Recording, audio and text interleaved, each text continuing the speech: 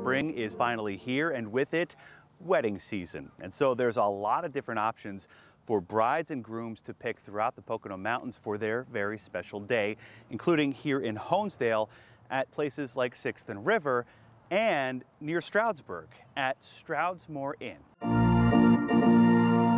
Ask anyone and they know how important it is to have a special day for their wedding day. And for generations, the Poconos has been providing the backdrop to countless special days. The first thing we did was pick the venue. We knew we wanted to get married up here in the Poconos, um, so we looked around. Um, and Stroudsmoor, where we're going to get married, is like a one-stop shop, which has been really helpful for me. Chelsea Kotz and her fiance Tom Greaser live in Philly and picked Stroudsmoor Inn as their wedding venue in September. I like the idea of getting married in like a nice mountain backdrop.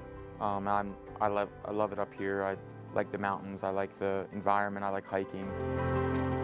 Not to mention, one of the most attractive aspects of Stroudsmoor to this bride, and many like her, is that Stroudsmoor has everything bridal parties need right here on its 350 acre campus. You know, they have the florist, they have the they're bringing in entertainment people to meet with us and photographers and videographers and, and such. So um, that's been, you know, I don't have to do any of the, the legwork. We take the couple from one beginning stage to the absolute end stage of the event. Linda Fort and her family have run Stroudsmoor for many years. Many weddings, many cakes, dresses, and I do's. And they'll be assigned an event planner actually who will take them through invitations, um, itinerary, walk them down the aisle and make sure they're married and then get them to the party on time.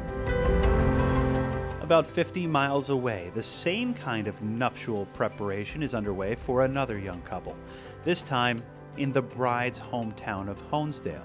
And I think the biggest factor is that here um, everyone genuinely cares about making this a special day for us. Um, so, and a lot of people have really invested in it already.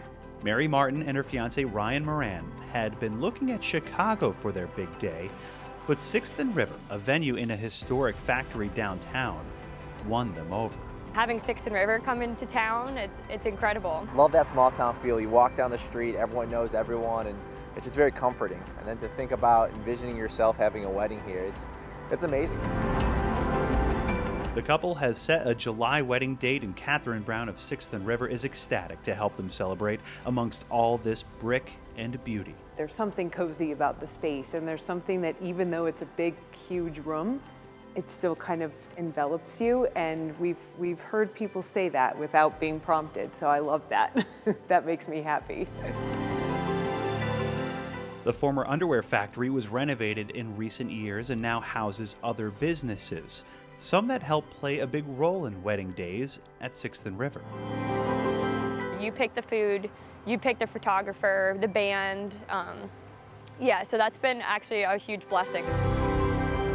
To have people walk in the door and even just the walk down the hallway, which is kind of dark and industrial, and then it opens up onto the space and they start to envision what their celebration will be and who will be there and it's, it's been incredible. Both Stroudsmoor and 6th and River, two of many wedding wishes come true in the Pocono Mountains. Want to learn more? Head to PoconoMountains.com and head to the wedding section. Jim Hamill for the Pocono Television Network. Thanks for watching. Make sure you subscribe to the Pocono Tourism YouTube channel and click the bell button below to be the first to watch new videos.